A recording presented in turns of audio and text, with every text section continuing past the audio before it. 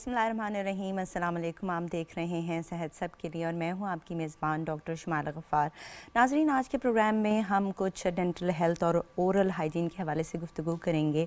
दांत ना सिर्फ़ हमारे जिसम का, बल्कि हमारी शख्सियत का एक अहम हिस्सा होते हैं और यही वजह है कि इनकी हिफाजत करना, इनकी सफ़ाई का ख्याल रखना बहुत ही ज़रूरी है। लेकिन बाज़ दफ़ा हम देखते हैं कि लोग इसकी तरफ़ इतनी तवज्जो नहीं देते। रिसर्च में दर्ज में देखा गया है कि वो लोग जिनके दांत खूबसूरत होते हैं, चमकते हुए मोतियों की तरह और मसूड़े मज़बूत होते हैं, वो पुरकशिश भी दिखाई देते हैं और वो बात करने में भी कॉन्फिडेंट होते हैं।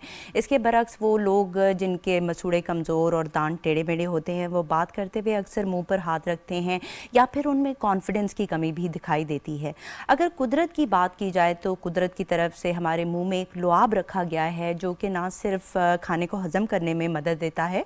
बल्कि कॉन्टीन्यूसली जो हमारे दांत हैं, उनको एक गसल दिया जा रहा होता है, जिसकी वजह से दांत जो हैं, वो सेहतमंद रहते हैं। अब हमें क्या करना चाहिए? हमें अपने दांतों की सफ़ाई का ख्याल रखना चाहिए, लेकिन जब हम ये नहीं करते हैं तो फिर बैक्टीरिया इस गज़ा के साथ मिलकर एक ऐसा एसिड बनाते हैं, जो कि हमारे दांतों को कमज़ोर कर देता है और कैविटीज़ बनना शुरू हो जाती हैं। ऑल दो के मेडिकल साइंस ने बहुत ज़्यादा तरक्की कर ली है और हर चीज़ का सोल्यूशन आजकल अवेलेबल है लेकिन हम कुछ सादा चीज़ें अपना कर अपने दांतों को किस तरह से हेल्दी रख सकते हैं? इस पर बात करने के लिए आज हमें स्टूडियो में ज्वाइन कर रहे हैं डॉक्टर एस खान रब्बानी जो कि डेंटिस्ट हैं और पिछले दस साल से इस शोबे से एसोसिएटेड हैं। असलम डॉक्टर अवैस हाउ यू जी अल्लाह का शुक्र आई एम गुड जी।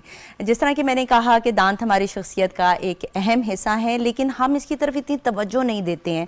तो आप ये बताइएगा कि आप डेंटल हाइजीन को ओरल हेल्थ को किस तरह से एक्सप्लेन करेंगे? देखिए जी मैं बीइंग अ डेंटिस्ट आपने एक बड़ा पर्टिनेंट और रेलिवेंट क्वेश्चन किया। मैं इस पर तवज्जो इसी तरह दिलाना चाहूँगा कि जिसम के बहुत सारे हिस्से हैं हमारे अल्लाह ताला ने दिए। लेकिन आई थिंक जो आपकी ओरल कैविटी है जहाँ पे आपके दांत होते हैं वो तो एक आपकी जो एक है this window to your soul तो दांतों का ख्याल रखना इंतहाई ज़रूरी है। हम्म। जितना कि आपकी किसी भी बॉडी पार्ट का ख्याल रखना उससे कहीं बढ़कर आपके दांतों का ख्याल। क्योंकि नॉर्मली लोगों को इस चीज़ का शायद अंदाज़ा होता भी होगा लेकिन नॉर्मली लोग ये समझते हैं कि दांत जो है वो सिर्फ़ खाने के ही काम आते हैं। लेकिन आज मैं शायद उनकी थोड़ी सी नॉलेज में ज़्यादा इजाफा करूँ कि दांत सिर्फ़ ना आपके खाने में काम आते हैं बल्कि आपकी शख्सियत को जिस तरह आपने का पुरकशिश दिखने में हेल्प करते हैं हम्म। और सबसे बढ़कर जो आपका तलफज है जिसको आप वॉवल्स कहते हैं इंग्लिश में अच्छा। उसमें भी बहुत हेल्प कर रहे हैं हम्म। क्योंकि अगर बहुत सारे लोगों के तो ये देर आप ये समझिए कि it's a multi dimensional thing जो दांत जिसमें हेल्प आउट कर रहे होते हैं और आपकी पर्सनैलिटी को वो अच्छा दिखने में हेल्प uh, आउट करते हैं तो they are very important I would say they are very important और जिस तरह कि आपने कहा कि ये वॉवल्स को प्रोनाउंस करने में भी अहम uh, किरदार अदा करते हैं। और बैक स्टेज हम लोग जब बात कर रहे थे तो आपने ये भी बताया कि कुछ ऐसे बच्चे भी होते हैं कि अगर उनके दांत निकाल दिए जाएँ तो वो कुरान हिफ्स कर रहे हो तो उनका तलफ़ तक ख़राब हो जाता है। इस पर हम डिटेल में बात करेंगे लेकिन मैं चाहती हूँ कि थोड़ा सा आप ये बताइए कि डेंटल चेकअप किस एज से करवाना शुरू कर देना चाहिए? क्योंकि यूजुअली हमारे यहाँ पर ट्रेंड है कि हम डॉक्टर के पास तब जाते हैं जब हमारा दांत जो है वो हमें दर्द देना शुरू कर देता है। डॉक्टर शुमाला ये इतनी इंपॉर्टेंट चीज़ है मैं अक्सर अवकात अपने पेशेंट्स के साथ भी इस चीज़ के बारे में बात करता हूँ बल्कि आई डोंट नो कि ये लोगों के बारे में इस चीज़ के बारे में इतना ट्रेंड अभी आहिस्ता आहिस्ता आता जा रहा है। Because hmm. आपको पता है आजकल तो सोशल मीडिया का दौर है everybody is having a media in his hand in the shape of a mobile तो जो दांतों का चेकअप है वो Uh, मैं अक्सर लोग मुझसे पूछते हैं कि जी बच्चों के दांत ज़रूरी हैं या नहीं है? तो बच्चों के दांत उतने ही ज़रूरी हैं जितने बड़ों के दांत ज़रूरी हैं। तो फिर दांतों का चेकअप भी उस वक्त से ही स्टार्ट हो जाता है कि जब बच्चों के दांत निकलना शुरू हो जाते हैं। हम्म। बल्कि वही आपने जिस तरह बात की कि मैं और आप डिस्कस भी कर रहे थे कि अक्सर मेरे पास माएँ आती हैं और उनके मैं बच्चों के दांतों को देखता हूँ तो वो जिस तरह अगर अपने चेकअप के लिए आई हैं तो उनके बच्चों के दांतों में कोई प्रॉब्लम है तो they are not concern about that there are parents के जो कंसर्न होते भी हैं but few of them are not तो ये मैं बताना ज़रूर चाहूँगा कि जितने दांत इंसान के बड़ों के ज़रूरी हैं उतने ही दांत ज़रूरी बच्चों के भी हैं। बल्कि बच्चों के दांत में उस पर एम्फोसिस ज़्यादा देना चाहूँगा जो पीरियाटिक डेंटिस्ट्री है या जो चाइल्ड चाइल्ड के दांत हैं क्योंकि जो अगर बच्चों के दांत ठीक होंगे तो वो इफ़ेक्ट करते हैं पॉजिटिव इफ़ेक्ट करते हैं अगर उनके दांत ठीक हैं आगे आने वाले परमानेंट डेंटिशन को। और अगर उनमें प्रॉब्लम्स होते हैं डेसिड्यूस टीथ में तो वो definitely they will have negative feedback on the permanent dentition जैसे कि वो आप स्पेसिंग और उस चीज़ की बात कर रही थी हम्म। या ऑर्थोडोंटिक ट्रीटमेंट की तो अगर एक बच्चे हैं जिसने जिसके दूध के दांत जल्दी निकल गए हैं तो फिर उसके परमानेंट डेंटिशन में definitely he will have problems और she will have problems doctor Awais normally देखा ये गया है कि माएँ अक्सर ये कहती हैं कि ये तो दूध के दांत हैं ये गिर जाएँगे इनका चेकअप करवाने की क्या ज़रूरत है या इनका इलाज करवाने की क्या ज़रूरत है तो क्या जो दूध के दांत होते हैं वो आइंदा आने वाले दांतों पर भी उनका कोई असर होता है या इम्पैक्ट होता है? डॉक्टर शुमाइला इंतहाई ज़रूरी। जो दूध के दांत हैं उनका डेफिनेटली वो रिलेटेड है आपकी परमानेंट डेंटिशन से। अगर अच्छा। दूध के दांत आपके क्योंकि हर दांत के निकलने का एक टाइम है। जिसको हम इरप्शन टाइम कहते हैं। हम्म। फिर there is an eruption table for deciduous dentition और फिर परमानेंट डेंटिशन की भी टेबल होती है। जिस तरह वो अक्सर लोग पूछ होते हैं तो पहला दांत जो बच्चे का निकलता है वो डिपेंडिंग अपॉन एज उसकी फोर टू एट मंथ्स में निकलता है। अब वो फोर टू एट मंथ्स में निकलता है तो उसने इराप्ट होना है और फिर उसने आगे से निकल भी जाना है ताकि बिकॉज़ उसको सक्सीड करना है उसके परमानेंट डेंटिशन में।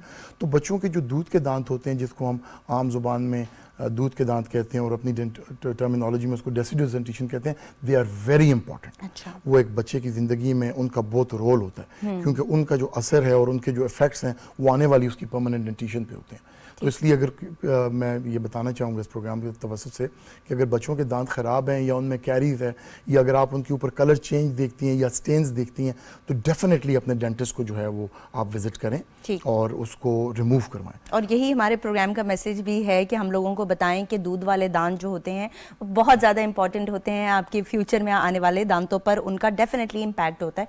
ठीक अच्छा वेस्ट में मैंने देखा है कि लोग अपने कुत्तों के दांत भी ब्रश कर रहे होते हैं और जिस तरह कि हमने कहा कि यहाँ पर छोटे बच्चों के दांत ब्रश नहीं किए जाते।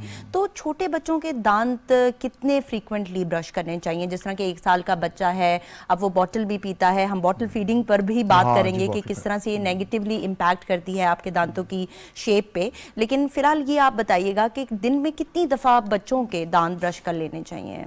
देखिए जी बच्चों के मैंने जिस तरह भी पहले आपको बताया शुमाइला कि बच्चों के दांत इतने ही ज़रूरी जितने हम्म। बड़ों के दांत ज़रूरी उनकी ट्रीटमेंट मोडालिटीज़ भी वही होती हैं कि अगर एक बच्चे का दांत तो जो आपने जहाँ तक मुझे ब्रशिंग की बात की तो अक्सर का मैंने सुना प्रोग्राम्स में भी डॉक्टर्स भी कह रहे होते हैं कि जी आप दो दफ़ा ब्रश करें या तीन दफ़ा ब्रश करें हम्म। मैं ये कहूँगा कि मोस्ट इम्पॉर्टेंटली हर इंसान को चाहिए बच्चों को या बड़ों को कि वो एक टाइम होता है जिसको हम कहते हैं बेड टाइम बेड टाइम पे अपने दांत को ज़रूर ब्रश करें। अच्छा। तो सुबह उठ के जो आप काम पे जाते हैं वो तो इंसान करता ही है बिकॉज़ यू नो यू आप एक सिक्स सेवन आवर्स की ब्रेक लेते हैं जिसके बाद आप अपनी ब्रेक को फास्ट करते हैं यू हैव योर ब्रेकफास्ट तो लेकिन सबसे इंपॉर्टेंट टाइम जो होता है ब्रश करने का वो रात का वक्त होता अच्छा। है अच्छा, अभी रात का वक्त इंपॉर्टेंट क्यों है हम्म। वो इसलिए क्योंकि जो नॉर्मली जब हम बात कर रहे होते हैं या यू नो नॉर्मली कुछ च्यू कर रहे होते हैं या जिस तरह घर में बैठे हैं तो आप पानी पी रहे हैं चाय पी रहे हैं कॉफ़ी पी रहे हैं तो सो आपकी जो oral cavity is constant state of motion तो उस मोशन में हम भी यही बात कर रहे होते हैं कि जो bacteria they are not so active तो बैक्टीरिया का जो सबसे एक्टिव टाइम होता है वो आपका जो है वो रेस्ट टाइम होता है अच्छा। तो जब इंसान सो जाता है तो मोस्ट ऑफ़ द जो एक्टिविटी होती है बैक्टीरियाज की वो आपकी ओरल कैविटी में उस वक्त ही होती है। हम्म। तो मैं ये माओ को भी बताऊँगा बड़ों को भी बताना चाहूँगा इस प्रोग्राम के तवसत से कि जो बच्चे होते हैं वो रात को बल्कि इधर से एक बहुत इंपॉर्टेंट पॉइंट जिस पर हम्म। मैं अभी रोशनी डालना चाहूँगा कि वो रात को सब ब्रश ज़रूर करें। ज़रूर करें पूरी फैमिली जो है इसको एक एक्टिविटी बना ले और सब मिलकर ब्रश करें यहाँ पर कॉलर हैं उनको ले लेते हैं बिल्कुल वेरी इंपॉर्टेंट रात को वालेकुम अस्सलाम। जी कौन कहाँ से बात कर रही हैं? जी जरीना बात कर रही हूँ। जी जरीना सवाल पूछे। जी मेरा सवाल ये है कि मेरे दांत छोटी उम्र में गिरने लगे हैं। अच्छा। और कैविटी भी ज़्यादा लगती है दांतों में। ठीक है छोटी उम्र से क्या मुराद है आपकी? किस उम्र से गिरने मतलब लग गए? साल अठारह साल से। अच्छा और कैविटीज़ बहुत ज़्यादा हैं तो क्या आप अपने दांतों का ख्याल रखती हैं उनको दिन में दो दफ़ा ब्रश करती हैं रात को सोते हुए ब्रश करती हैं? जी हाँ ज़रूर करती हूँ। अच्छा ठीक है आप कुछ डॉक्टर वैस इनसे पूछना चाहेंगे सवाल? हाँ नहीं जरीना आप दांत कितना फ्रीक्वेंटली ब्रश करती हैं मुझे ये बताएँ। जी। आप रोज करती हैं दांत ब्रश जी हाँ। अच्छा मुझे ये बताएँ कि आप रात को सोने से पहले अपना लास्ट मील या स्वीट लेती हैं जिस तरह नॉर्मली लोग डिनर के बाद कुछ मीठा ले रहे होते हैं? नहीं नहीं मीठा तो कुछ नहीं ले अच्छा। अच्छा तो अभी आपका मेन प्रॉब्लम क्या है? कि कह रही हैं कि दांत अच्छा। गिरने लग गए हैं अच्छा, इनके अच्छा। बहुत अर्ली एज में। बहुत शुक्रिया जरीना आपने कॉल किया। अच्छा जिस तरह के इन्होंने ये सवाल किया तो मैं यही पूछना चाहूँगी डॉक्टर साहब के क्या कोई जेनेटिक वेरिएशन भी होती है कि बाज़ लोगों के दांत वीक होते हैं बाज़ लोगों के स्ट्रॉन्ग होते हैं और क्या इनकी फैमिली हिस्ट्री भी इंपॉर्टेंट है इसमें कि इनके दांत जल्दी गिरना शुरू हो गए हैं? वैसे इतनी यंग एज में तो दांत गिरने नहीं चाहिए। एक्चुअली शुमाइला पर्टिनेंट है क्वेश्चन इज़ वेरी रेलिवेंट देखिए जो उन्होंने दांत गिरने की बात की हम्म। देखिए जब इंसान के मुँह में दांत आ जाते हैं तो प्रोटेक्शन तो वहीं से स्टार्ट हो जाती है। फिर दिस इज़ ये एक इरेलीवेंट सी बात होगी कि दांत जल्दी गिर जाए। देखिए अगर एक इंसान अपने अच्छा मैंने uh, मैं पेशेंट्स देखता रहता हूँ तो मेरे पास मुख्तलिफ़ किस्म के पेशेंट्स आते रहते हैं। तो I mean I had a patient जो अभी मेरे पास कुछ अर्सा पहले आई वो शी लिव्ड इन यू के वहाँ से वो I she wanted to see me आप यकीन करिए कि उनके मुँह में she was plus seventy there was not even a single tooth जो उनके मुँह में अपना नहीं था। अच्छा। उनकी कोई प्रोस्थेसिस नहीं अच्छा। थी उनके सारे दांत अपने थे। तो फिर बीइंग डेंटिस्ट हम लोग बहुत ये पर्टिकुलरली मैं ये क्वेश्चन करता हूँ उनसे कि आप क्या करती हैं? सो शी सेड कि जी मैं अपने दांतों का ख्याल रखती हूँ मैं उनको प्रोटेक्ट करती हूँ। तो अभी जिस तरह जरीना ने मुझसे क्वेश्चन किया तो मैं यही बताऊँगा कि अगर एक दांत जो है उनका ख्याल ना रखा जाए जिस तरह बल्कि इससे मैं एक इंपॉर्टेंट बात ये भी बताऊँगा कि दांतों को जब दांत का कीड़ा जो हम नॉर्मल जबान में कहते हैं कि दांत को लग गया जिसको हम कैरीज कहते हैं तो जब वो आपको हो जाता है तो आपको पेन नहीं होता। अच्छा। You will never have a pain ये एक बहुत ही इंपॉर्टेंट बात है जो मैं अपने नाजीन को बताना चाहूँगा। तो उसमें दर्द नहीं होता। तो उस वक्त अगर आप अपने डेंटिस्ट के पास चेकअप के लिए जाएँ तो वो आपकी फिलिंग करके दांत को बचा सकते हैं। लेकिन अगर आपको दर्द होता है इसका मतलब है कि वो बीमारी नीचे पल्प तक चली गई है तो इसी तरह जरीना के साथ भी हुआ कि उनको दर्द नहीं हुआ होगा लेकिन जब दर्द हुआ होगा तो वो बीमारी नीचे पल्प तक चली गई होगी। और फिर कुछ- कुछ अरसे के बाद जब एक्यूट स्टेज में तो आपको बहुत पेन होता है depending upon the type of the caries जो एक्यूट होता है मतलब आपको जल्दी एकदम आपका जो दांत आपका एक्सपोज हो गया उसको हम एक्यूट लेकिन कॉन्टिन्यूसली जब आप उसको पेन किलर्स ले रहे हैं या पानी पी रहे हैं या किसी भी वजह से आप उसका दर्द कम कर रहे हैं तो जब क्रॉनिक स्टेज में दान चला जाता है तो वो दर्द खत्म हो जाता है। क्योंकि आपकी पल्प जो है वो निक्रोस हो जाती है। तो फिर आहिस्ता आहिस्ता जब निक्रोस पल्प होती है तो दांत फिर आपके गिर भी जाते हैं। तो ज़रूरी ये है कि दांतों का ख्याल रखा जाए जो इसमें एक बहुत इंपॉर्टेंट चीज़ है जिसको हम फ्लॉसिंग कहते हैं। फ्लॉसिंग की जाए माउथ वॉशेज यूज़ किए जाएँ। मुख्तलिफ़ क्लोरक्सिडीन बेस्ड माउथ वॉशेज जो होते हैं ओरल कैविटी वो आपका बैक्टीरियल बैलेंस जो ओरल कैविटी के अंदर उसको मेनटेन रखते हैं। तो आपके दांतों में फिर बीमारी नहीं होती तो एन मुमकिन है बल्कि it's more than ninety five percent chances यही हैं कि if you take care of your teeth और take care of the teeth में आपको मैं इधर इंपॉर्टेंट चीज़ बताऊँ कि आप खुद अपने दांतों का ख्याल नहीं रख सकती हैं। एट टाइम तो आपको अपने डेंटिस्ट को विज़िट करना बहुत ज़रूरी है। हाँ। क्योंकि देख देखें अभी इसमें बहुत सारी चीज़ें आ जाती हैं कि दांतों के अंदर पिट्स एंड फिशर्स होती हैं वहाँ पे स्वीट रुक जाती है और कैरी स्टार्ट हो जाती है। तो उसको आप ब्रशिंग से रिमूव नहीं कर सकते। बिल्कुल सो अच्छे दांतों के ख्याल के लिए ज़रूरी है कि आप खुद भी करें और अपने डेंटिस्ट को भी विज़िट करें। बिल्कुल और डेंटिस्ट को खुद भी डेंटिस्ट के पास जाना पड़ता है अपने दांतों की हिफाजत के लिए और उनकी सफ़ाई के लिए। बड़ा अच्छा आपने पॉइंट रेज किया।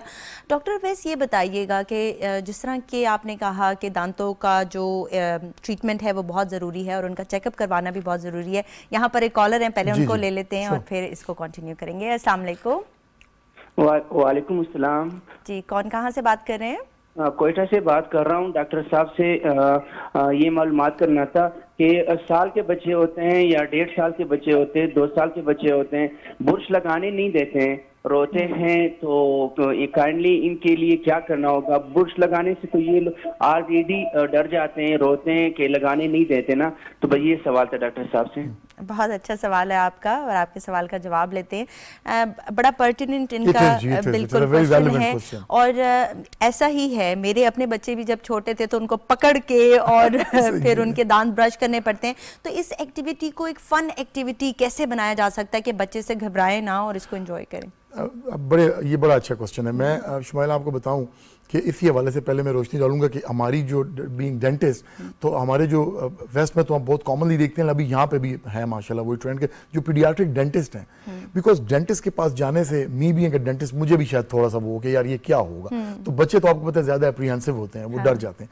तो ये इनका क्वेश्चन जो है वो बहुत पर्टिनेंट है। उसमें करना ये चाहिए कि जैसे अगर आप किसी वेस्ट में पीडियाट्रिक डेंटिस्ट के पास जाएँ तो जब बच्चा उसके डेंटिस्ट के क्लिनिक के अंदर जाता है तो आप देखेंगे कि उन्होंने वो जो चेयर है उसको मिकी माउस की शेप दी हाँ होती है। बड़ी फिर खूबसूरत सी ग्लासेस वो Exactly, देते हैं बड़ी ग्लासेस देते हैं है। फिर उनको वेलकम करते हैं फिर वो उनको इस तरह की चीज़ें करते हैं।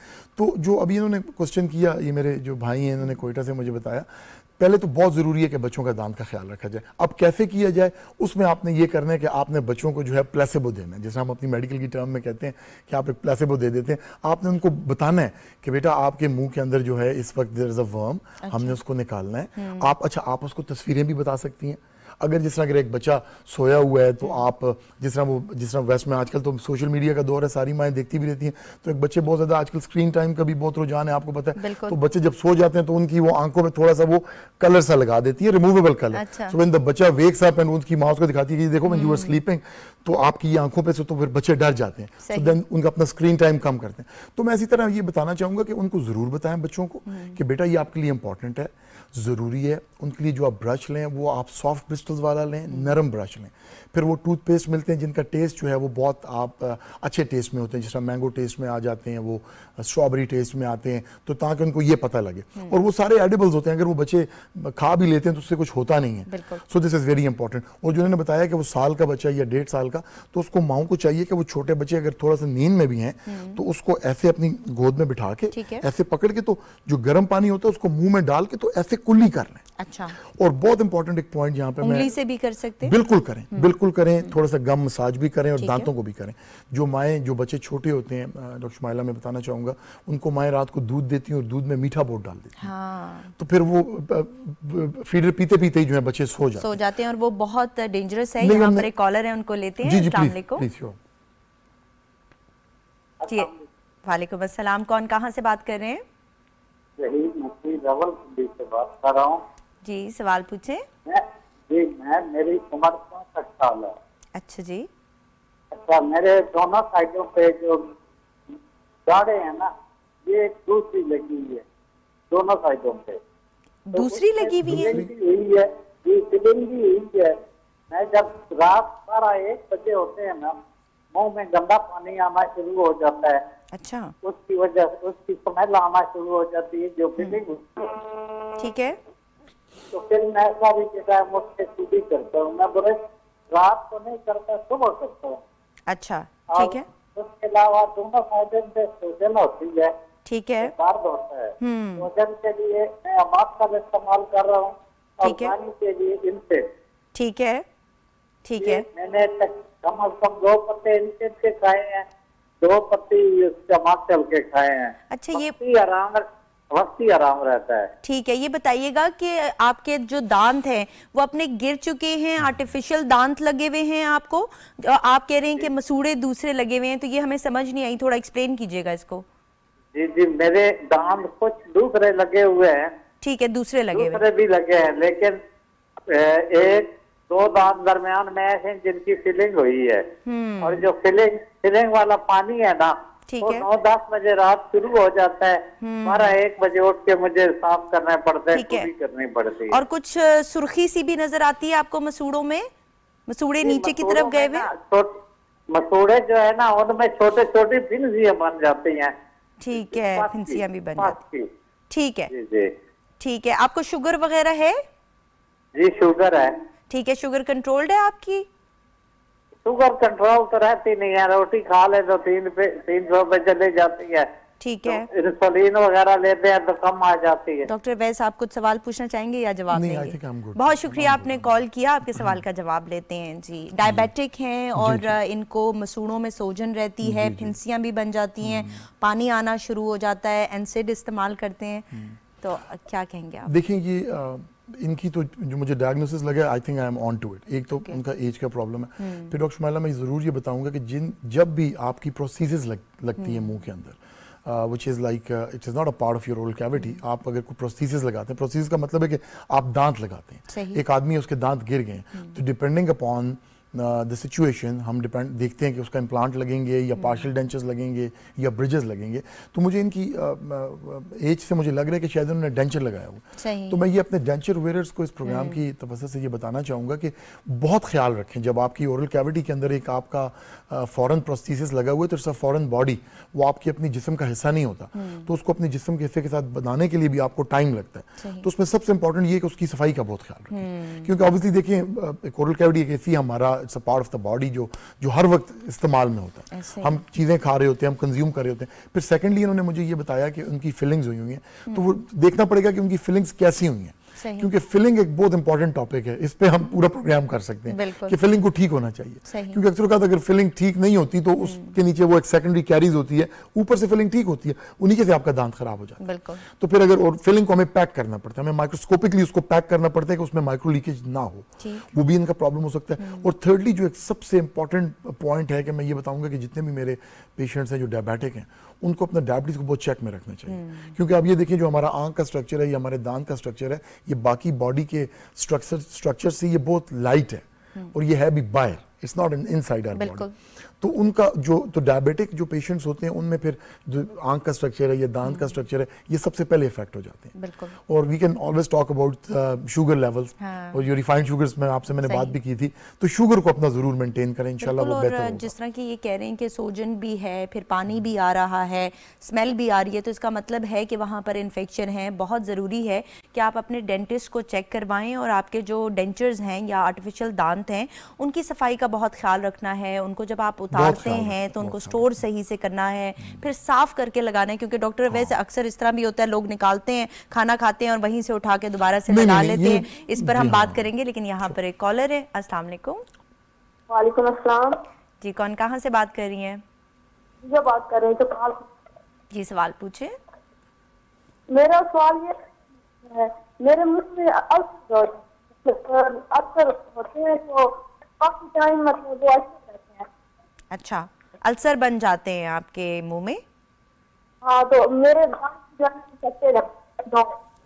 ठीक है उम्र क्या है आपकी? मेरी है ट्वेंटी वन। अच्छा और कोई डायबिटीज़ शुगर वगैरह है आपको? मुझे नहीं। ठीक है। और और मुझे ये पूछना है कि क्या रूट कनाल और इनमें से मतलब बेस्ट वो क्या है? आपकी आवाज़ हमें सही नहीं आ रही। रूट केनाल और क्या चीज़ पूछ रही हैं आप? फिलिंग वगैरह। फिलिंग वगैरह इनमें फ़र्क क्या है? ठीक है। अच्छा ये बताइएगा कि आपने कहा कि अल्सर हो जाते हैं तो मिर्च मसाले वाले खाने तो नहीं बहुत खाती हैं आप? ज़्यादा मिर्च नहीं खाती मिर्च कम भी वो भी ज़्यादा। तो भी हो जाता है ठीक है। आपने एलर्जी टेस्टिंग करवाई है? किसी चीज़ से आपको एलर्जी हो? नहीं एलर्जी किसी चीज़ भी नहीं है पता नहीं किसी चीज़ कुछ भी ठीक है। ठीक है, आपकी आवाज़ हमें सही समझ नहीं आ रही, लेकिन आपके सवाल का जवाब हम लेते हैं। बहुत शुक्रिया कॉल करने का। जी, डॉक्टर अवैस। जी, इन्होंने क्वेश्चन किया कि अल्सर्स जो हैं तो डिपेंडिंग अपॉन द एज अगर इनकी शी इज़ वेरी यंग उसमें भी हमें ख्याल रखना चाहिए लेकिन अक्सर अल्सर्स जो मुँह में बन जाते हैं शुमाइला वो मोस्ट ऑफ़ द टाइम ये होता है कि आपका कोई दांत जो है वो कैरियस है तो आपका कोई शार्प एज बन जाता है। तो वो शार्प एज आपको कट कर रहा होता है आपकी ज़ुबान को या आपके म्यूकोजा को मोस्टली बकल म्यूकोजा पे बन जाते हैं। तो सबसे पहले तो ये देखना है कि कोई शार्प एज इनके मुँह में ना हो। फिर अगर ये डेंचर वेयर हैं या इन्होंने प्रोस्थेसिस लगाए हुए in the form of a bridge और क्राउन उसमें कोई शार्प चीज़ ना हो। फिर अक्सर का जो हमारी बहुत ओल्ड फिलिंग्स होती हैं वो वेयर एंड टेयर कर जाती हैं। जिस तरह वी मोस्टली यूज़ अमलगम भी हम यूज़ कर रहे होते हैं। अभी तो री इन्फोर्स्ड अमलगम्स आ गए। तो अमलगम्स जो है मेटल तो वो जब वेयर करती हैं तो उनमें भी बहुत शार्प एजेस बन जाती हैं। तो बेसिकली मोस्टली अल्सर्स जो हैं वो शार्प एजेस की वजह से बनते हैं। अच्छा फिर जो अल्सर्स शार्प एजेस की वजह से नहीं बनते जब हमारे पास पेशेंट्स आते हैं और उनको हम देखते हैं कि उनके मुँह में कोई भी ऐसा कॉजिटिव एजेंट नहीं है जिसकी वजह से अल्सर बना तो फिर हम थोड़े से कॉन्शियस भी हो जाते हैं। क्योंकि नॉर्मली अगर अल्सर्स हैं उनको normally one two two weeks में हील हो जाना चाहिए। बिल्कुल। तो मैं अपने सारे मरीजों को ये बताऊँगा कि अगर एक मुँह के अंदर एक अल्सर है जो दो हफ़्ता से ज़्यादा हील नहीं हो रहा तो उसको लाइट मत लीजिए। उसको चेकअप करवाइए अपने डेंटिस्ट को देखिए चीज़ें क्योरेबल होती हैं अगर वो अच्छे टाइम पे डायग्नोज हो जाएँ। तो because obviously there is a lot of talk about oral cancers आपको पता है। बिल्कुल डॉक्टर बहुत अवैस साहब ने बड़ा इंपॉर्टेंट पॉइंट रेज किया जी, है जी। और नाजरीन हम ये बताना चाहते हैं कि अगर आपके मुँह में कोई अल्सर है जो कि दो हफ़्ते से ज़्यादा उसको हो चुके हैं और वो ठीक नहीं हो रहा तो आपको फ़ौरन अपने डेंटिस्ट के पास जाना चाहिए अपने डॉक्टर को चेक करवाना चाहिए क्योंकि नॉन हीलिंग अल्सर मुँह के अंदर खुदा न खास्ता कैंसर भी हो सकता है। यहाँ पर कॉलर है उनको लेते हैं। अस्सलाम वालेकुम। हेलो अस्सलाम वालेकुम। जी मैं हुरैरा चकवाल से बात कर रहा हूँ। जी सवाल पूछे जी ये मेरे दांत में बहुत पेन होता है। ठीक है कब से हो रहा है आपको ये दर्द? जी ये दो तीन दिन से है। ठीक है और उम्र क्या है आपकी? जी मेरी उम्र 28 साल है। अच्छा दांत वगैरह चेक करवाते हैं आप सफ़ाई का ख्याल रखते हैं और कितनी दफ़ा ब्रश करते हैं दांत? जी जी रखते हैं। अच्छा ठीक है। चले आपके सवाल का जवाब लेते हैं। इनके दांत में दर्द हो रहा है तीन चार दिन से हो रहा है और इन्होंने देखा कि हमारा प्रोग्राम ऑन एयर है तो इन्होंने कहा कि डेंटिस्ट का फ़ायदा उठाया जाए और पूछा जाए। तो डॉक्टर वैस ये बताइएगा कि दांत का दर्द जिस तरह कि हमने कहा कि बहुत सारे लोग पेन किलर ले लेते हैं फिर लॉन्ग भी रख लेते हैं लोग। तो कब डॉक्टर के पास डेंटिस्ट के पास जाना चाहिए दांत के दर्द के लिए? देखिए पहले इनको तो, क्या करना नहीं बिल्कुल। एक्चुअली पहले तो मैं ये बताऊँगा वो उन्होंने वो बताया एनसेट्स का तो मैं बताऊँगा कि एनसेट्स जो है वो वो एक बेसिकली एक ग्रुप है हम्म। जो बहुत रेगुलरली नहीं लेनी चाहिए। आप दवाइयाँ डॉक्टर से प्रिस्क्राइब करवा के लें क्योंकि एनएसएड्स एक ग्रुप है जिसको हम non steroidal anti inflammatory drugs कहते हैं। डॉक्टर साहब कहते हैं वो आपके मैदे के लिए नहीं ठीक तो अगर एक patient constantly without the consultation of doctor लेंगे तो उनके मैदे में प्रॉब्लम हो सकती है। तो दांत का दर्द तो अपनी जगह ही रह जाएगा मैदे का प्रॉब्लम स्टार्ट हो जाएगा सेकेंडली जो दांत का दर्द है मल्टीपल कॉजेज मल्टीपल कॉजेज हो सकते हैं उसका दांत का दर्द। इट कैन बी आप जो हम अपनी ज़ुबान में कहते हैं कि ओडोंटोजेनिक रीजन हो सकते हैं नॉन ओडोंटोजेनिक हो सकते हैं। लेकिन नॉर्मली एक अट्ठाईस साल के लड़के के मुँह में अगर दांत का दर्द होगा तो बेसिकली वो that is that can be because of caries at times हमें कैरीज नज़र भी नहीं आ रही होती। हम्म। हम पेशेंट को देखते हैं कि आपके दांत में तो कोई कैरीज नहीं है। लेकिन होता यूँ है कि जो दो दांत because there is a very strong contact between all the teeth जो बड़ा टाइट होता है। तो जब हम जिस तरह हम मुख्तलिफ़ चीज़ें कंज्यूम कर रहे होते हैं तो हम जिस तरह मीट कंज्यूम करते हैं तो उसके फाइबर्स इंटरडेंटली स्टक हो जाते हैं। जब हम फ्लॉस की भी बात करेंगे हाँ, बिल्कुल तो इसी तो वजह से हम फ्लॉस भी लेकर आए नॉर्मली ब्रशिंग से नहीं जाते तो उसके लिए आपको फ्लॉस करना है। तो अगर वहाँ पे उनका फाइबर स्टक हो गया तो वो definitely ultimately it will decay और मैं सबको ये बताना चाहूँगा कि जो सबसे ज़्यादा जो फास्ट जो हमारे दांतों के अंदर डिके चीज़ करती है दैट इज़ मीट शुगर्स अच्छा। के बाद यस और मीट एकदम जो आपको पता है लैक्टिक एसिड प्रोडक्शन करते हैं और वो आपकी कैल्शियम बैरियर को ब्रेक करते हैं। जो आपकी एनामल ब्रेक होती है और वो रफ होती है दांतों पे कभी भी कोई रफ सरफेस हो उसको लाइट मत लीजिए क्योंकि दांतों की सर्फेसेज आर वेरी क्लीन और वो दे आर वेरी स्मूथ इसलिए कि वी डू नॉट वांट कि वहाँ पे कुछ चीज़ स्टिक करे स्टक करे। सो इट इतने कॉलर्स हैं कि मुझे तो सवाल पूछने का मौका ही नहीं मिल रहा। डॉक्टर वैस यहाँ पर कॉलर है उनको लेते हैं। अस्सलाम वालेकुम। अस्सलाम वालेकुम। जी अल्हम्दुलिल्लाह बिल्कुल ठीक ठाक। कौन कहाँ से बात कर रहे हैं? बात कर रहा हूँ आज़ाद कश्मीर रिपोर्ट से। जी सवाल पूछे। मेरा तो है ना? जी जी। ये बाहर से बिल्कुल ठीक है। ठीक है। लेकिन जो साइड से ना ऊपर से मतलब टूट रहे हैं और अंदर से खोखले हो रहे हैं ये समझ नहीं लग रही क्या इशू हो रहा है। अच्छा। दर्द वगैरह कुछ नहीं कर रहे। ठीक है। उम्र क्या उम्र तेईस साल। ठीक है। और ये बताइएगा कि इन दांतों में कोई फिलिंग वगैरह हुई भी है पहले या बस इसी तरह से टूट रहे हैं? आ, नहीं कुछ भी नहीं हुआ बिल्कुल बस मतलब अपने दांत लेकिन वैसे ही टूट रहे हैं। अच्छा ठीक है। आप ये बताइएगा कि आप टीथ ग्राइंडिंग तो नहीं करते हैं दांतों को भींचते तो नहीं हैं चबाते तो नहीं है रात को? नहीं नहीं नहीं, नहीं कुछ भी नहीं करता हूँ। ठीक है स्ट्रेस वगैरह तो नहीं है? कोई एग्ज़ाम्स वगैरह का स्ट्रेस? नहीं नहीं इससे कुछ भी नहीं। अच्छा ठीक है। और ये जो आपके दांत टूट रहे हैं तो इनके शार्प एजेस आपको फील होते हैं? किस तरह से पता चलता है आपको कि दांत टूट गया नज़र आ रहा है आपको या महसूस हो रहा है? जी जी नज़र नज़र आ रहा है मुझे। अच्छा ठीक है। डॉक्टर अवैस आप कुछ पूछना चाहेंगे या जवाब नहीं I think I am good बहुत शुक्रिया कॉल करने का। जी। जी इन्होंने जो मुझे बात बताई है I think it's clear from what they said कि अगर दांतों की सरफेस पे इन्होंने मुझे बताया कि वो फूट रहे हैं देखिए दांत कभी भी वैसे नहीं फूटेंगे आपके अच्छा। अगर एक नॉर्मल आदमी है जिसके वो दांत इरप्ट हो गए हैं पहले तो एक इरप्शन हम्म। का प्रोसेस है इरप्शन के बाद अगर दांतों के ऊपर से कोई लेयर कोई लेयर फूट रही है हम्म। तो दैट इज़ कैरीज अच्छा वो कैरीज है कैरीज मैंने इसीलिए आपको बताया कि जो स्मूथ सर्फेस होती है हम मुख्तलिफ़ किस्म की चीज़ें कंज्यूम करते रहते हैं। स्पेशली मैं यहाँ पे ये बताऊँगा कि जब रात को लेट नाइट जो शुगर्स कंज्यूम हो रही होती हैं और स्पेशली चॉकलेट्स उनको बहुत ज़्यादा एड्रेस करने की ज़रूरत है। या हर किस्म के इंडिविजुअल में चाहे बच्चे हों या बड़े हों। हम्म। क्योंकि आजकल जो मैंने आपको हम बैक स्टेज भी टॉकिंग के रिफाइंड शुगर्स के बारे में। तो ये थोड़ा सा बता दें कि पहले शुगर्स किस तरह से होती थी देखिए अभी कैसी हैं? I mean like 20 years back काफ़ी अर्सा पहले आप देख लें 25 साल पहले तो शुगर्स या चॉकलेट्स या जो मीठे उनकी किस्में इतनी नहीं थी। They were not very sticky as well अभी जो बिकॉज़ मुख्तलिफ़ शुगर्स आई मुख्तलिफ़ कंपनी आई चॉकलेट्स आई तो अभी वो री इन्फोर्स कर लेते हैं। जो क्वान्टिट ऑफ़ शुगर है वो ज़्यादा डाल देते हैं। तो फिर वो अगर आप और फिर वो स्टिकी भी होती हैं बहुत हम्म। सारी। आप देख लें कितनी कंपनियों के नाम लें हर चॉकलेट हर चीज़ वो स्टिकी है। तो अगर खाते हैं और वो अगर स्टिक कर जाती है they are very dangerous they will immediately they can cause disaster तो एक तो आप उस चीज़ का बहुत ख्याल रखें सेकेंडली जो अभी मैं coming back to the question उनका जो क्वेश्चन है वो ज़रूर अपने दांतों को दिखाएँ अगर उनको दर्द नहीं हो रहा और दांतों के ऊपर से सिर्फ़ वो लेयर ही उठ रही है तो उसको वो दिखाएँ वो अभी भी फिलिंग से ठीक हो सकती हैं देखें दांतों के जितने भी प्रॉब्लम्स हैं जब तक आपको दर्द नहीं होता ये मैं एक इरेलीवेंट बात करूँ लेकिन जब तक आपको दर्द नहीं होता तो वो फीलिंग से ठीक हो सकते हैं। जब आपको दर्द होगा और आपका जो नर्वस वेस्कुलेचर दांत का है, वो उसमें इन्वॉल्व हो जाएगा तो फिर वो दांत will end up in RCT और फिर वो से के बगैर ठीक नहीं होता। तो इनको चाहिए कि अपने डेंटिस्ट को ज़रूर देखें अपनी जो केयर है दांतों की उसको कैरी ऑन करें। कोई ना कोई माउथ वॉश ज़रूर यूज़ करें जो होते हैं और इंशाल्लाह ठीक हो जाएँगे ये कोई मसला यहाँ नहीं पर दांतों की कलरेशन को लाइट ना लें। उनको लेते हैं। अस्सलाम वालेकुम। वालेकुम सलाम। जी कौन कहाँ से बात कर रहे हैं? फैजुल हसन बात कर रहा हूँ हासिलपुर से। जी सवाल पूछे। सवाल ये है कि मैं जब कोई भी चीज़ खाता हूँ ना पहली दफ़ा पहला निवाला पहला घूंट पानी का पहला घूंट चाय का तो मेरे दांतों में ना जोरदार दर्द होता है इतना कि अनकंट्रोलेबल होता है। सही। फिर जैसे ही वो जगह जगह पे लग जाता है दांतों में खाना वगैरह तो फिर जितना मर्ज़ी खा लें कुछ नहीं होता। अच्छा ठीक है। ये काफ़ी अच्छे से ये मसला है। ठीक है काफ़ी अरसे से है तो इसके लिए आपने कुछ इस्तेमाल किया है? कुछ इस तरह के टूथपेस्ट मिलते हैं जो कि सेंसिटिविटी कम करते हैं वो इस्तेमाल किए हैं हाँ आपने जी वो इस्तेमाल करते हैं उसका कुछ नहीं असर होता थोड़ा बहुत असर होता है फिर ठीक है। बाकी तो जो है ना। कोई दांतों की ब्लीचिंग या वाइटनिंग वगैरह तो नहीं करवाई थी आपने? नहीं नहीं कुछ भी नहीं कराई ठीक है और उम्र क्या है आपकी?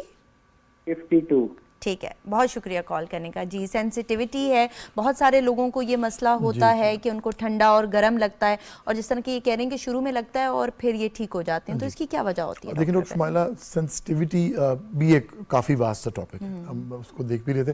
तो सेंसिटिविटी हो सकती है दांतों के अंदर। सेंसिटिविटी के भी बहुत सारे कॉजेज हैं। मैं एक दो चीज़ों पर ज़रूर आना चाहूँगा। हम्म। पहले तो ये कि अगर आपके दांत में जिस तरह कैरीज का प्रोसेस स्टार्ट हो गया और वो आहिस्ता आहिस्ता डीप जा रहा है। जब मैंने आपको बताया पहले वो एनामल की लेयर होती है हमारे दांत के ऊपर जो strong calcium hydroxyapatite crystals होते हैं। तो वो दर स्ट्रॉन्ग लेयर ताकि वो स्ट्रॉन्ग फूड्स को रेजिस्ट कर सकें। लेकिन जब वो एसिड की वजह से ब्रेक होती है उसके बाद नीचे डेंटीन आती है तो फिर डेंटीन को भी जब आहिस्ता आहिस्ता अगर आप उसको रिमूव नहीं करवाते तो इट्स अ कॉन्टिन्यूस प्रोसेस जो स्टॉप नहीं होता खुद से। तो वो जब नीचे जाता जाता जैसे जैसे वो पल्प के करीब पहुँचता है तो आपको मुमकिन ये नहीं है कि आपको दर्द हो। अच्छा। आपको दर्द से पहले बिकॉज़ ये अल्लाह ताला का एक सिस्टम बॉडी में रिफ्लेक्स मैकेनिज्म है, कि आपको पहले जब आप जब आप ठंडा या गर्म लेंगे तो आपको ठंडा या गर्म लगेगा। अच्छा। कुछ लोगों को मीठा भी लगता है उस कंडीशन में क्योंकि आपकी कॉन्सेंट्रेशन चेंज हो जाती है। तो सेंसिटिविटी का एक रीज़न ये हो सकता है। सेकंड जो सेंसिटिविटी का बहुत ज़रूरी रीज़न है डॉक्टर शुमाइला वो मैं उस पर ज़रूर बात करना चाहूँगा बल्कि अपने नाजीन को बताना चाहूँगा कि ऑब्वियसली यू नो इन सारे प्रोग्राम्स हर चीज़ का मकसद यही होता है कि बेटरमेंट हो लोगों की कि वो ब्रशिंग की टेक्निक्स को ज़रूर देखें। जो रॉन्ग ब्रशिंग टेक्निक्स हैं वो आपके दांतों को बहुत डैमेज कर सकती हैं। अगर आप ब्रशिंग रॉन्ग करेंगे और बहुत विगरस करेंगे और बहुत स्ट्रॉन्ग करेंगे तो एन मुमकिन है कि आपका जो गम्स है जो गम्स भी एक बहुत बड़ा टॉपिक है आप आपके गम्स रिसेशन में जाएँगे।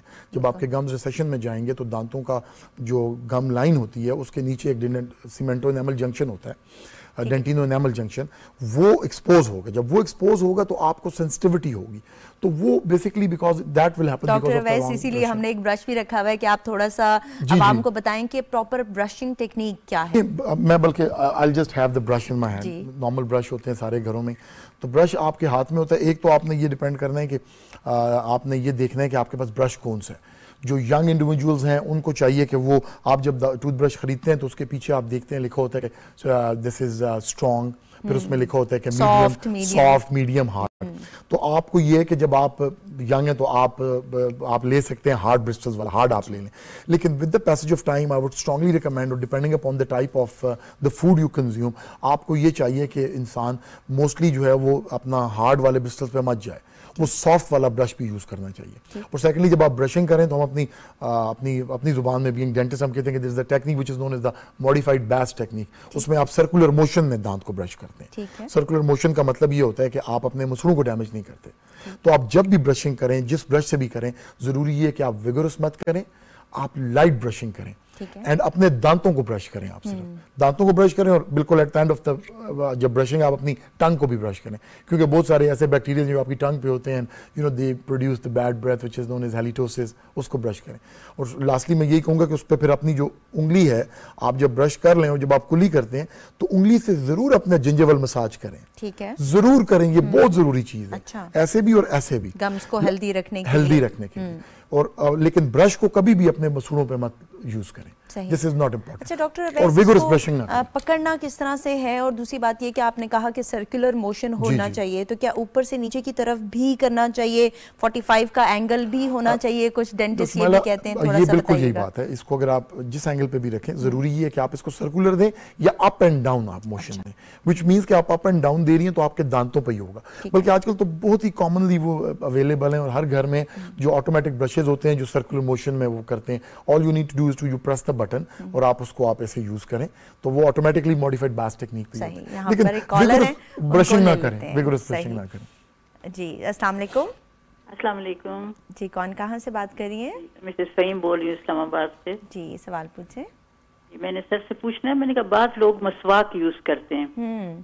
तो मसवाक पे ये लगा देते हैं पेस्ट हाँ। तो ये कैसे अलहदा से मसवाक करना या उस पे पेस्ट लगाना तो अगर उनके लिए मुनासिब नहीं है तो मसवाक करके फिर ब्रश करें। हम्म। प्लीज़ अगर ये बता दें तो थैंक यू वेरी मच जी बड़ा अच्छा सवाल था। आपने मसवाक की बात की और हमारे जो प्रॉफिट मोहम्मद सल्लल्लाहु अलैहि वसल्लम थे वो हमेशा से मसवाक यूज़ करते थे और मैंने कहीं पर ये भी सुना कि उन्होंने बेड साइड पे रखा हुआ होता था और उनकी ये आदत थी कि वो फ्रीक्वेंटली मसवाक करते थे। लेकिन इन्होंने कहा है कि आजकल लोग मस, लोग मसवाक के ऊपर टूथपेस्ट लगाकर उसको इस्तेमाल करते हैं तो क्या ये ठीक है या नहीं? देखें एक तो मैं मैं खुद तिब नबी पे तो मैं बहुत मेरा बिलीव है और इस पर तो मैंने student in college I a small article about that अच्छा। देखिए मैं इधर से ये बताना चाहूँगा एक कि मसवाक की टेक्निक मॉडिफाइड बैस टेक्निक ही है। पहले अच्छा। तो मैं आपको ये बताऊँ। आप यकीन करें कि आप ऐसे मसवाक यूज़ करते हैं तो वो टेक्निक भी वही है। सेकेंडली जब इंसान खाना खाता है तो जब इस इसी हवाले से मैं बताऊँ तो इंसान के दांतों के ऊपर एक लेयर आती है उसको हम कहते हैं प्लाक की लेयर प्लाक की लेयर जब आप खाने के बाद अपने दांतों के ऊपर ज़ुबान लगाएँ ऐसे तो आपको फील होगी slippery C layer that is known as plaque अभी प्लाक बेसिकली एक बैक्टीरियल लेयर होती है। अच्छा। तो हमने जब ब्रशिंग करते हैं या रात को करते हैं तो हमारा एक ही मकसद होता है कि हम उस प्लाक की लेयर को रिमूव करें। अच्छा। क्योंकि वो बैक्टीरियल कम्युलेशन इतनी ज़्यादा होती है कि वो फिर उस पर वो एक्ट करके तो वो दांत के स्ट्रक्चर को डैमेज करते हैं। तो आप यकीन करें कि जिस तरह प्लाक की लेयर को मसवाक रिमूव करता है वो ब्रशेज नहीं करते। तो मैं एक तो मैं ये बताऊँगा कि मसवाक करना इज़ वेरी हेल्दी फिर मसवाक के अपने भी फ़ायदे हैं कि मसवाक जो है ऐसी इट इज़ करता जी जी। बहुत ज़्यादा हेल्प करता है। तो मसवाक बहुत ज़रूरी है। और मसवाक अगर आप करती हैं तो it is as good as brushing बल्कि मैं ये कहूँगा कि वो ब्रशिंग से भी ज़्यादा अच्छी चीज़ है। और अगर आप मसवाक के ऊपर टूथ पेस्ट लगाती हैं तो मकसद हमारा वही है कि हम उसी तरफ़ जा रहे हैं कि we want to clean the teeth अच्छा। तो अगर उसके ऊपर पेस्ट लगा लेती हैं तो I think you will end up in इसको आप नहीं ऑगमेंट कर देंगी। It is better it is better तो मसवाक का बहुत फ़ायदा है। आप अच्छा जिस वक्त डॉक्टर अवैस थोड़ा सा ये बताइएगा बल्कि हमारे कॉलर ने पूछा भी था कि फिलिंग और रूट केनाल में क्या फ़र्क है? और हमारे प्रोड्यूसर साहब का भी सवाल है कि कौन से दांतों के ऊपर क्राउनिंग की जाती है या कैपिंग की जाती है? जी बड़ी बड़ा इंपॉर्टेंट क्वेश्चन है ये भी मैं ये कहूँगा। फिलिंग देखें जी फिलिंग फिलिंग बहुत ज़रूरी है। मैं तो बिकॉज़ अपने जितने भी आप यकीन करें पेशेंट आते हैं वी बीइंग डेंटिस्ट अभी ये एक बड़ी कॉमन सी बात है कि अगर वो फिलिंग में एंड अप करते हैं तो मैं बहुत खुश होता हूँ। आप यकीन करें हालाँकि मैं उनसे पैसे कम लेता हूँ लेकिन मैं बहुत खुश होता हूँ उसकी वजह ये कि उनका दांत बच जाता है। लेकिन जब आपकी फिलिंग होती है तो आपका दांत वाइटल रहता है उसकी वाइटैलिटी मेंटेन रहती है। लेकिन जब आरसीटी की नौबत आती है तो हम फिलिंग नहीं कर सकते। ये भी लोगों को नहीं पता वो लोग कहते हैं जी फिलिंग हो सकती है। लेकिन जिस दांत की आरसीटी होती है उस दांत की फिलिंग नहीं होती। हम अक्सर का कोशिश करते हैं कि हम दांत एक्सपोज भी होता है तो हम एक प्रोसीजर होता है जिसको हम कहते हैं डायरेक्ट पल्प कैपिंग उसमें हम वो एक मटेरियल कैल्शियम लगा के हम कोशिश करते हैं कि हम सेकेंडरी डेंटीन को बिल्ड करें और फिर उसके बाद फिलिंग करें। तो लेकिन अगर फिलिंग नहीं होती तो आरसीटी आरसीटी का मतलब ये होता है कि जब वो पल्प चैम्बर तक बात चली जाती है नर्व्स तक तो फिर हमें आरसीटी में रूट कैनाल ट्रीटमेंट करनी हम कैनाल से और पूरे दांत के अंदर से जो नर्व्स हैं उनको निकाल देते हैं। उनका कोई भी कनेक्शन दांत से नहीं रहता।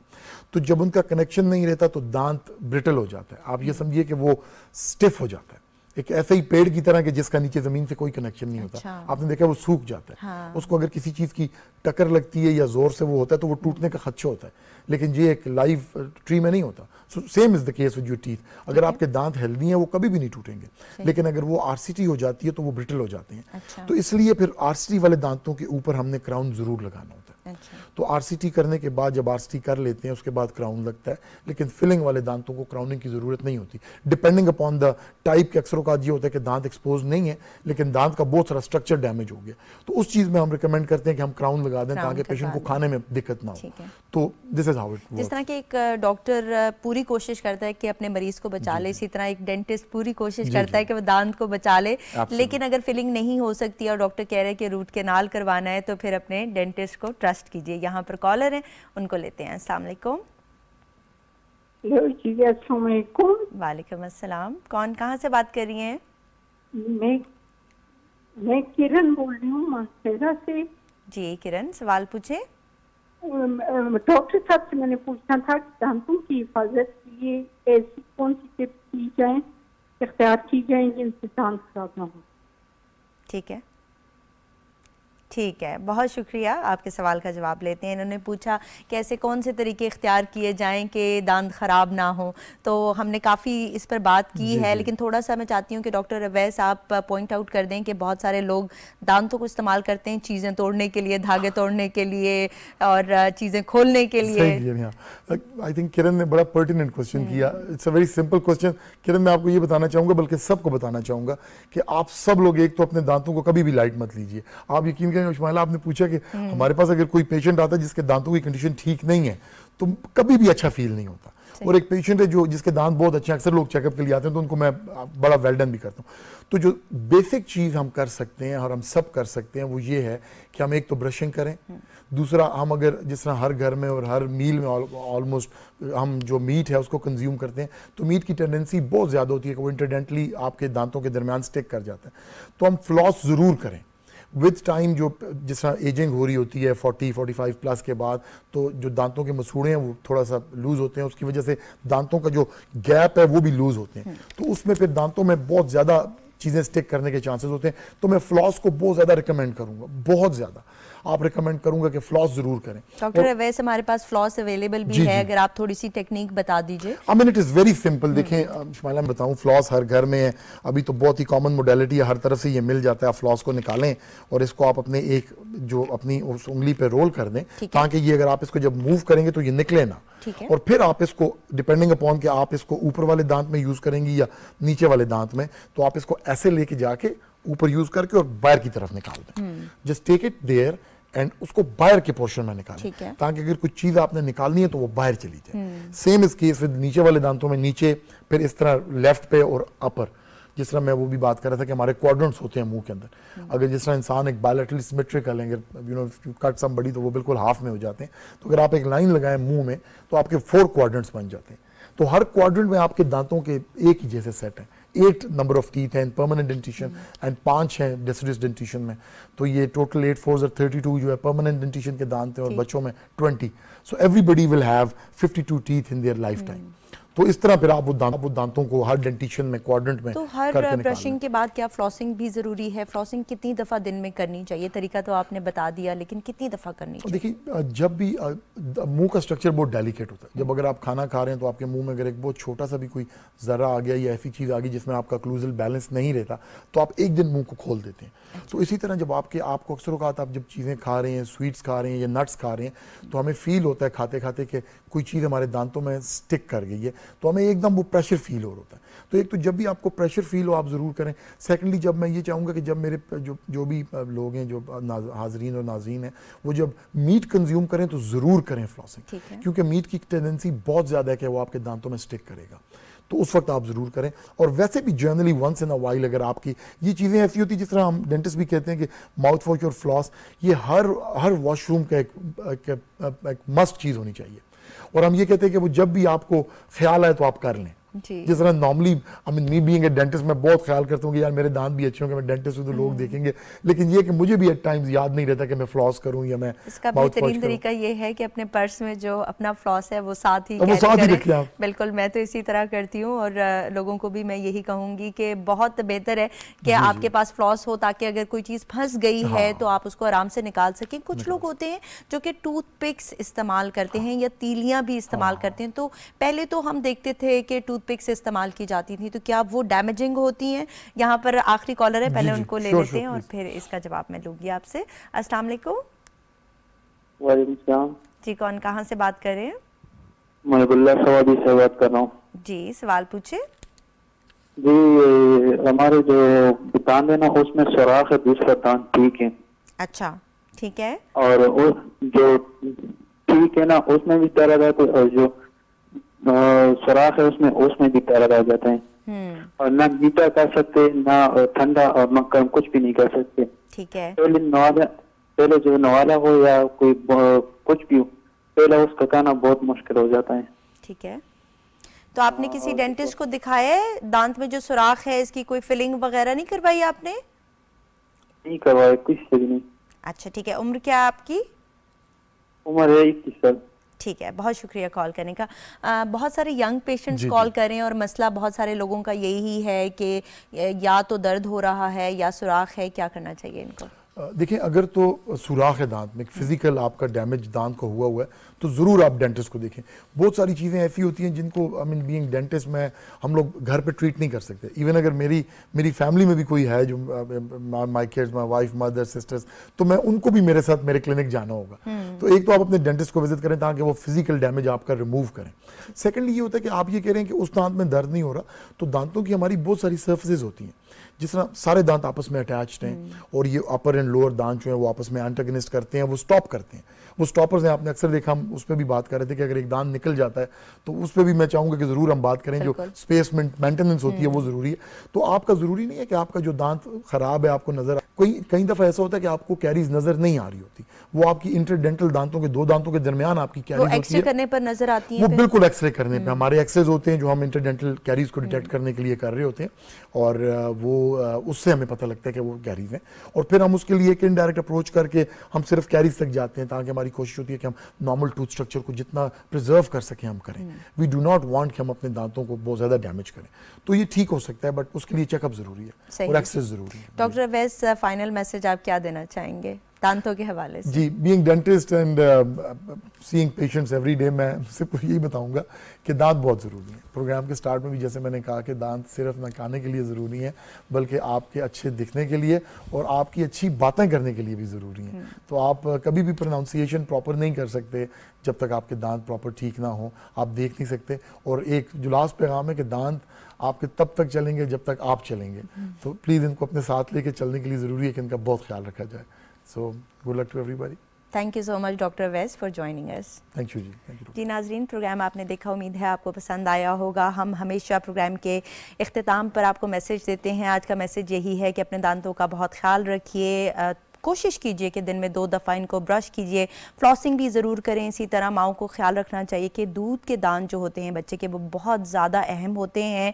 क्योंकि अगर आप दूध के दांतों का ख्याल नहीं रखेंगी तो बच्चे की पूरी शख्सियत आइंदा आने वाले सालों में इससे इम्पैक्ट हो सकती है। इसी तरह रात को अवॉइड कीजिए बच्चों को फीडर देना, क्योंकि इससे भी दांत सही से नहीं निकलते हैं और मुँह की शेप तक, जबड़े की शेप तक ख़राब हो जाती है। इसी तरह बच्चों को कैंडीज़ वगैरह दीजिए, लेकिन फिर उनको ये भी कहिए कि उन्हें ब्रश करना है उसके बाद में। अपना बहुत ख्याल रखिए और मुस्कुराते रहिए। Take care of yourself अल्लाह हाफिज़।